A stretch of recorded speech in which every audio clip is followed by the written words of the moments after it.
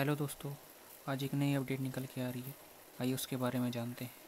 India to invest. Thousand crore rupees on the development of great Nicobar island आइए जानते हैं recently ये जो डेवलपमेंट हुई है फाइनली गवर्नमेंट ने अप्रूव कर दिया है ये प्रोजेक्ट दोस्तों, अंडमान निकोबार आइलैंड जो है, एक यूनियन टेरिटरी है, जैसे कि आप जानते हैं और इसके बारे में थोड़ा और जान लेते हैं कि क्या यह प्रोजेक्ट है और क्या यहाँ पे घटित हो रहा है। हम इस आइलैंड की इम्पोर्टेंस भी जानेंगे और क्यों हमें यहाँ इतना पैसा खर्च करना पड़ रहा है ये भी जानेंगे। तो दोस्तों एनवायरनमेंट मिनिस्ट्री जो है हमारे देश की 16,610 हेक्टेयर का ये जो प्रोजेक्ट है एक्सेप्टेंस दे दिया है। इसकी कॉस्ट लगभग आएगी 75,000 करोड़ इसके कंस्ट्रक्शन में।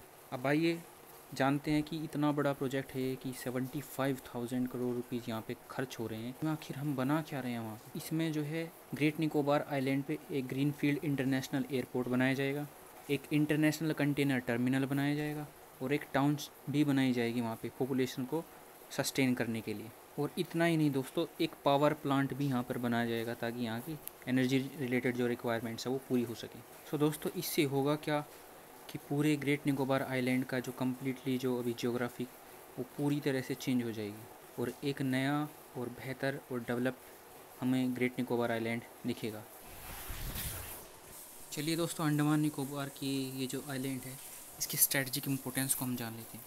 तो दोस्तों, इसकी लोकेशन जो है इंडियन ओशियन रीजन में बहुत इम्पोर्टेंट है और ये अंडमान और निकोबार आइलैंड ग्रुप्स का साउथर्न मोस्ट आइलैंड है।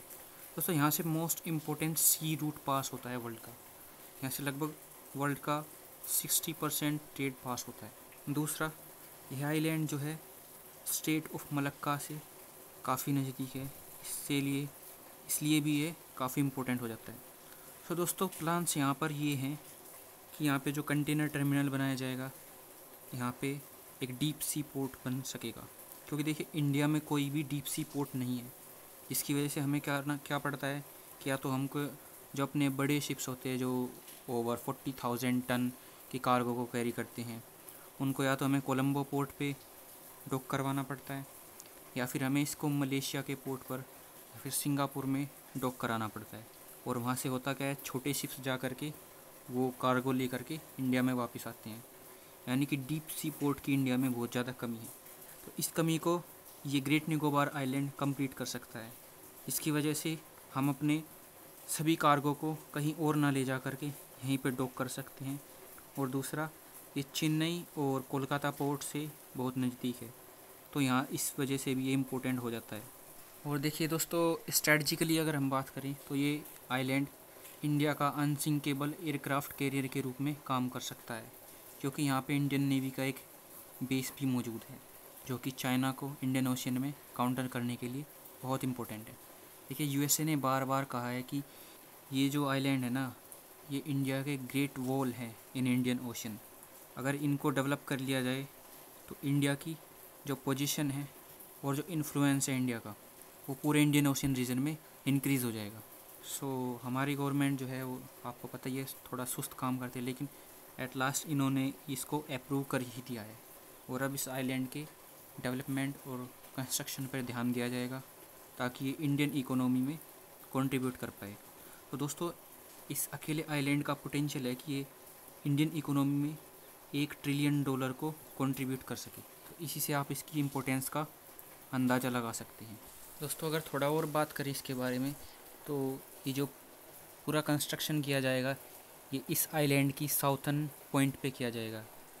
और इसके होने से होगा क्या कि जो करंट जो पॉपुलेशन आइलैंड की, वो लगभग साढ़े आठ हज़ार के आसपास है, जिसमें कुछ ट्राइबल पॉपुलेशन है और कुछ आर्मी एयरफोर्स नेवी इन सब की पॉपुलेशन है। तो यहाँ पे एक इम्पोर्टेंट नेवल स्टेशन भी मौजूद है, जिसको हम आईएनएस बाज के नाम से जाने, जानते हैं। तो इसमें क्या किया जाएगा कि जो आइलैंड का नॉर्थ पार्ट है, वो अनडिस्टर्ब्ड रहेगा। यानी कि वहाँ पे जो पेड़ पौधे हैं, वो डिस्टर्ब नहीं होंगे। लेकिन जो इसका मेनली साउथ वाला हिस्सा है, वहीं पे ये सब किया जाएगा। और दोस्तों, इसके होने के बाद, यानी कि एक जब ये डेवलपमेंट हो जाएगा तो एक अंदाज़ा ये लगाया जा रहा है कि इस आइलैंड की पॉपुलेशन लगभग छः लाख तक बढ़ जाएगी। और दोस्तों ये ये आइलैंड इसलिए भी इम्पोर्टेंट हो जाता है क्योंकि इंटरनेशनल ट्रेड रूट में पड़ता है। जिससे होगा क्या कि जो इंटरनेशनल शिप्स हैं, जो भी शिपमेंट्स जा रहे होंगे, वे यहाँ पे भी डॉक करेंगे। और इससे टैक्स कलेक्शन होगा तो हमारा रेवेन्यू भी यहाँ पे जनरेट होगा। तो दोस्तों, इसके बारे में कुछ एनवायरमेंटल कंसर्न्स भी जताए गए हैं इस आइलैंड्स के डेवलपमेंट को लेकर। कुछ एनवायरमेंटलिस्ट ने कहा है कि इसके कंस्ट्रक्शन के लिए टोटल कंस्ट्रक्शन के लिए लगभग एट लैख ट्रीज़ को कट किया जाएगा, जो कि एक लॉन्ग टर्म में डिज़ास्टर साबित होगा इस आइलैंड के लिए तो दोस्तों, ये थे कुछ फैक्ट्स इस आइलैंड्स के बारे में, जो न्यू डेवलपमेंट निकल के आया है so thank you for watching the video and please subscribe the channel.